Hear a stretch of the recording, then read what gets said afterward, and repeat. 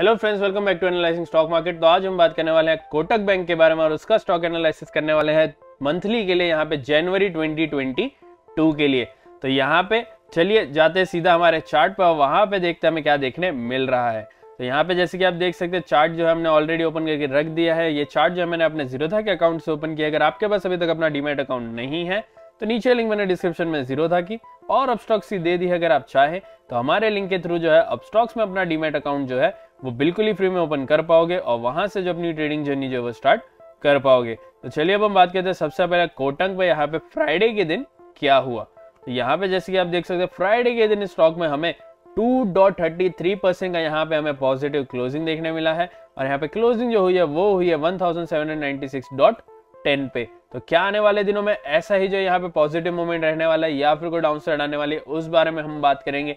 साथ ही साथ यहाँ पे मंथली का यहाँ पे आखिरी मंथली के लास्ट फ्राइडे में किस किस रेंज में जो स्टॉक हमारा क्लोज हो सकता है, वो यहाँ पे आपको एक रेंज बताएँगे। बाकी यहाँ पे आपको जो है फ्राइडे के क्लोजिंग के बेसिस मंडे को स्टॉक में क्या हो सकता है, ज़रूर हमारा ओपिनियन देंगे। तो यहाँ पे जैसे कि आप देख सकते हैं, इस स्टॉक में वीकली में अगर हम बात करें तो two dot seventy three percent का यहाँ पे जो पॉजिटिव हमें देखने मिला है। अगर मैं बात करूँ मंथली की तो eight dot fifty six percent में यहाँ पे मंथली में जो है वो नेगेटिव रहा है। तो क्या ये मंथ भी जो है नेगेटिव रहेगा या फिर पॉजिटिव मोमेंट को आ सकते हैं, उसके लिए हम जाते हैं हमारे वन वीक के चार्ट पे।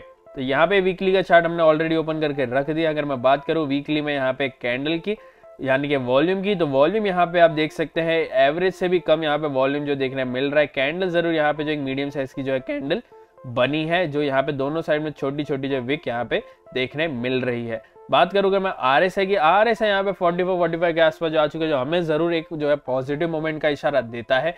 लेकिन याद रखे आर एस हो या फिर कोर इंडिकेटर हम जो है इंडिकेटर्स पे पूरा भरोसा नहीं कर सकते हैं। यहाँ पे बहुत सारे फैक्टर्स होते हैं जो किसी भी स्टॉक को जो मूवमेंट देते हैं हमें जो है उसे ज़रूर कंसिडर करना चाहिए जब भी, भी हम किसी भी स्टॉक में ट्रेड करें तब। बाकी यहाँ पे बात रही मेरे ओपिनियन की, इस स्टॉक में आने वाले दिनों के लिए तो करंटली वन डे का चार्ट में मैं आपको बता देता हूँ कुछ इंपॉर्टेंट चीज़।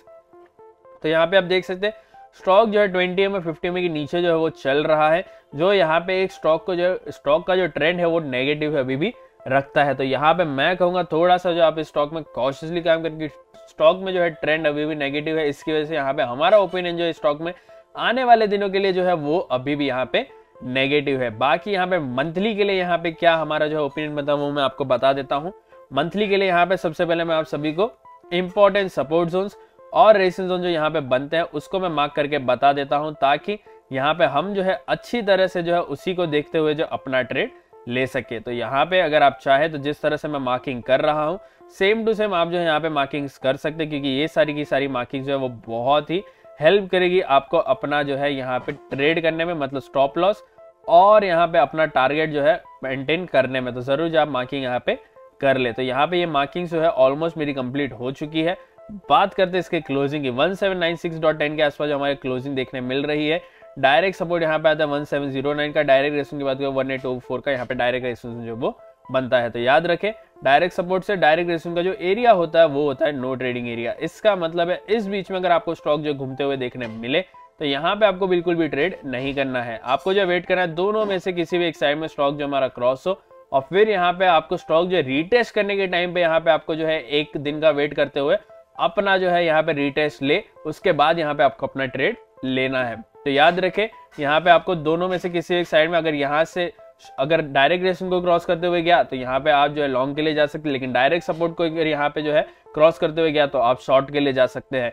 तो यहाँ पे आपको जो है उसका वेट ज़रूर करना है। बाकी अगर बात रही मेरे ओपिनियन की तो मेरा ओपिनियन इस स्टॉक में ज़रूर यहाँ पे जो है वो नेगेटिव का है। अभी भी स्टॉक जो है यहाँ पे हमारा जो है नेगेटिव ही चल रहा है। भले ही यहाँ पे कुछ दिनों के लिए आपको अपसाइड मूवमेंट देखने मिल सकता है, लेकिन यहाँ पे जो है मंथली के एंड में अगर मैं बात करूँ तो यहाँ पे 1627 से लेके 1709 के बीच में आपको जो क्लोजिंग देखने मिल सकती है। मतलब इस रेंज में आपको मंथली में जो क्लोजिंग देखने मिलने वाली है 1627 से लेके 1709 पे। तो यहाँ पे आपको क्या लगता है मंथली में स्टॉक में क्या हो सकता है, हमें ज़रूर कमेंट करके बताना।